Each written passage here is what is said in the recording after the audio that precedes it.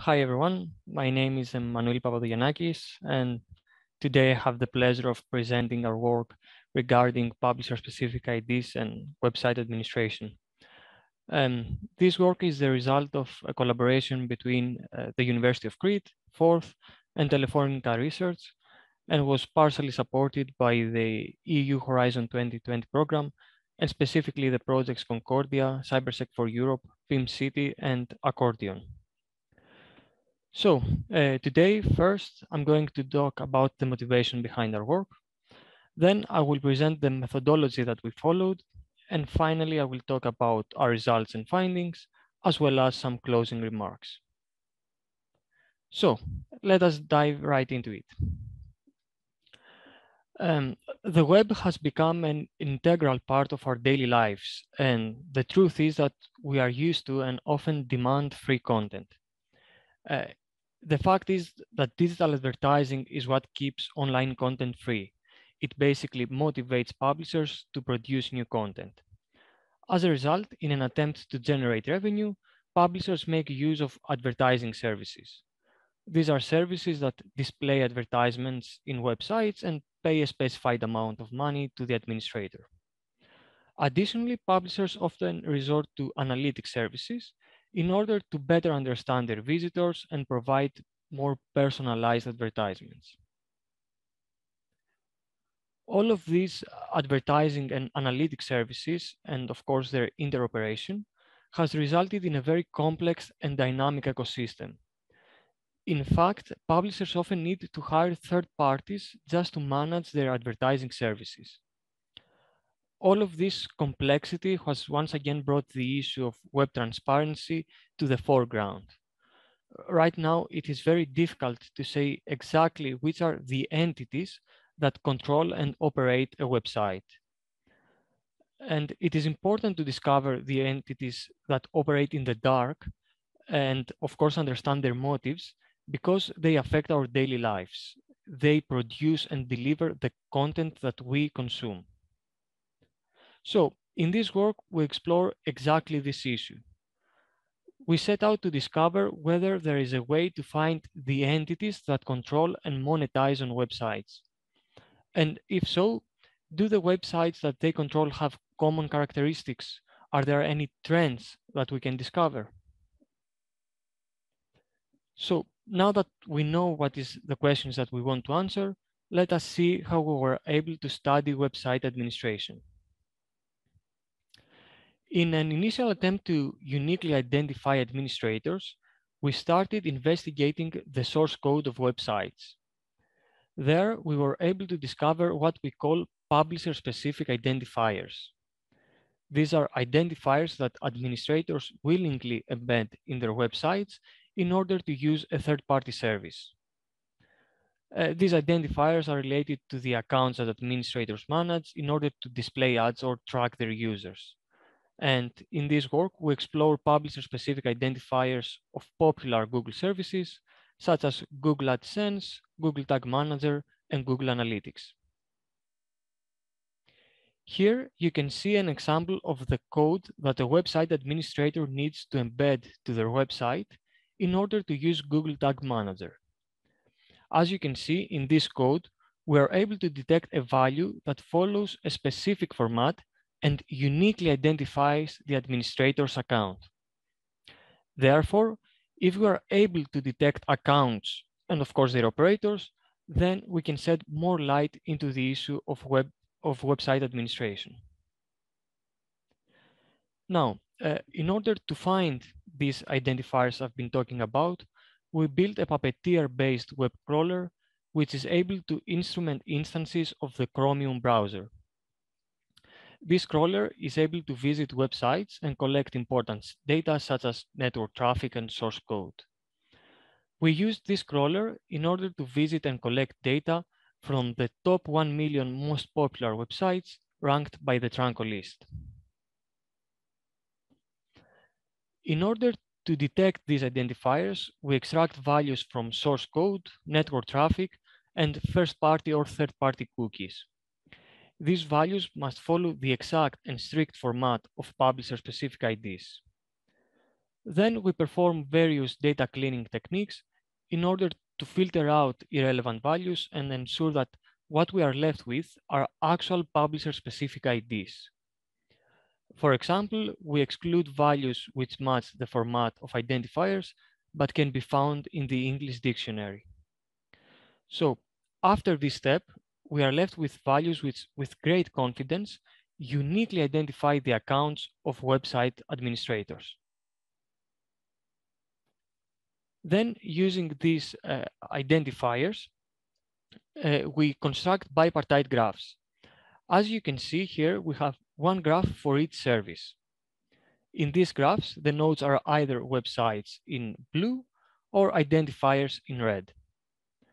Whenever we find that a website contains an identifier, we introduce an edge from the website node to the identifier node these graphs can provide us uh, with, with very valuable information about patterns of administration around the web.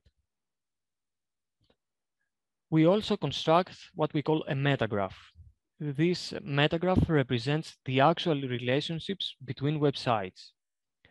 As you can see here, there are only website nodes, and whenever two websites share an identifier, the same publisher-specific identifier, they are linked together with an edge. The more identifiers two websites share, the greater the weight of the edge that connects them. By running a community detection algorithm on this graph, we are able to detect communities of websites which are operated and controlled by the same entity. And this is how we address our initial research question. In our dataset, we were able to find over 500,000 websites that contain at least one publisher-specific ID. This indicates that the Google services that we studied are very popular and they can provide a very good understanding of the web. Also, the metagraph with over 100,000 nodes resulted in over 2,000 communities. Each community is a set of websites operated by the same entity. I would just like to mention here that all the source code that you need to crawl websites, construct the graphs, and extract the communities is open source and publicly available. So we can now see the results and findings of our study. First of all, we studied the amount of websites that publishers control. We found that the great majority of administrators operate a single website this was almost 90% of the cases. So these are basically simple publishers, often ordinary people that generate content and want to make some money out of it. On the other hand, we found some very big administrators that control hundreds or even thousands of websites each. These administrators can be big companies that own multiple websites, um, news outlets, or even third parties which are responsible for managing the websites of other publishers. In addition to this, we found that these big publishers usually manage the most popular websites. Since they control and operate multiple websites, they're able to build a powerful network, attract more visitors, and therefore improve their reputation. Of course, since they have more visitors, they generate much bigger revenue. On the other hand, we have those little independent publishers that operate a single website, and most of the times these websites are less popular. Next, we performed multiple experiments using different metrics uh, regarding the categories of websites in our dataset. There, we found that almost one fourth of the websites were labeled as news and media. This indicates that administrators of such websites are more likely to use advertising or analytic services. More importantly, we detected preferential administration. This means that administrators tend to operate or even acquire websites that have the same category as the ones that they already manage. Finally, we found that our methodology is able to detect not only websites managed by the same administrator, but also websites owned by the same legal entity.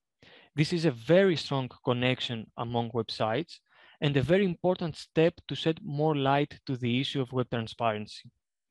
For example, we were able to, to discover communities of websites owned by Renault and Philips. Surprisingly, we also found a, community of websites of multiple subsidiaries, subsidiaries of one single conglomerate, Warner Music Group.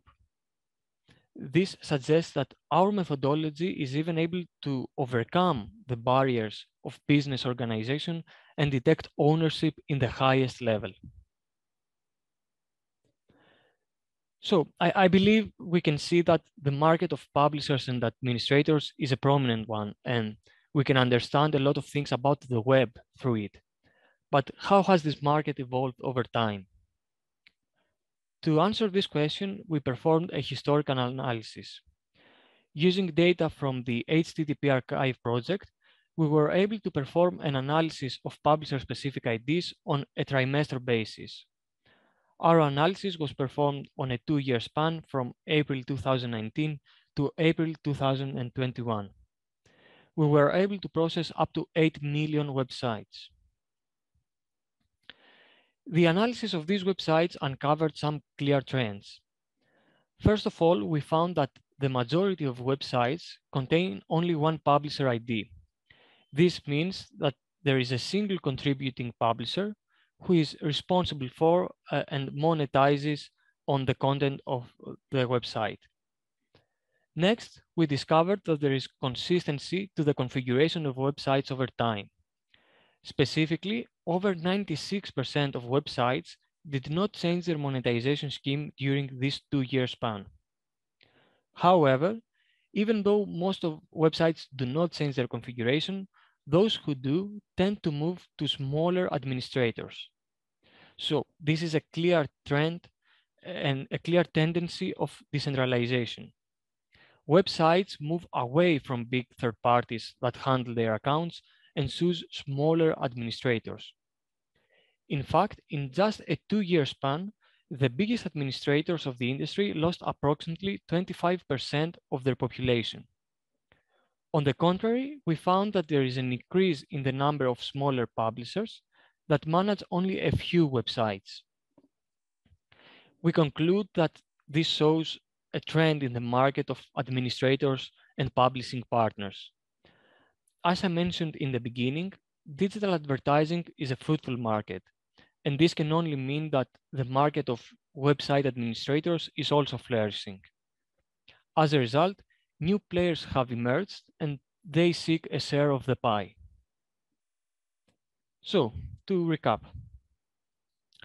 um, in this paper, we talked about how websites that display advertisements use an identifier to indicate which entity will receive the revenue. These identifiers are publisher specific, and we found that different websites might use the same identifier, meaning that they are controlled by the same entity. Using these identifiers, we developed a new graph-based methodology that is able to detect websites operated or even owned by the same entity.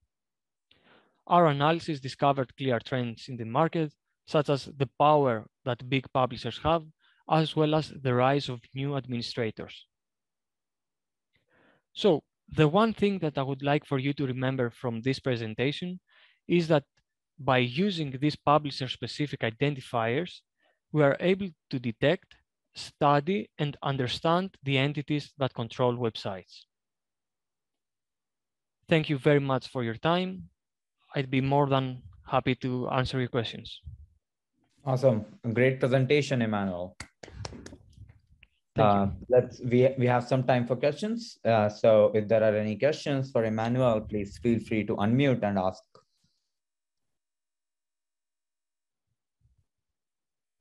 Uh, I can get started. So Emmanuel, uh, you have uh, you have this bipartite graph that you have created. Have you thought about using any of the graph embedding techniques that are very popular these days in terms of identifying and uh, getting even deeper insights from from your data and graph?